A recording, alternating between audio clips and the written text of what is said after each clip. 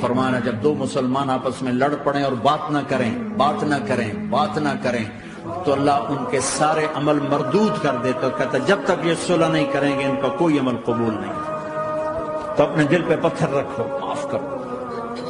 खुद जाके माफ़ी मांगो चाहे जितना इसमें तुम्हें ज़ोर लगाना पड़े, मांगो। अल्लाह की कसम, मेरे नबी का फरमान है, माफ़ करने से इज़्ज़त घटे तो मुझसे ले।